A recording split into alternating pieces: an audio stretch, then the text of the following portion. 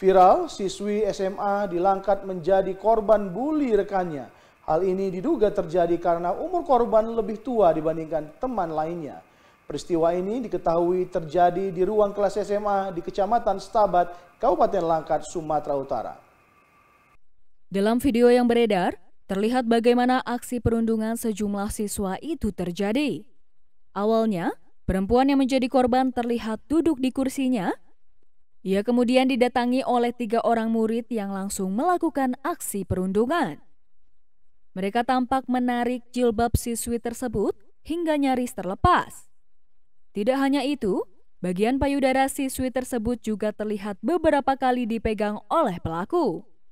Aksi perundungan tersebut terjadi lantaran korban memiliki usia yang jauh dari rekan sebayanya di kelas. Saat ini, korban berusia 22 tahun Dirinya masih duduk di bangku SMA karena memiliki keterbatasan. Para pelaku berdalih bercanda ketika melakukan perundungan. Atas kejadian ini, pihak sekolah mengambil respon cepat dengan memanggil semua pihak yang terlibat.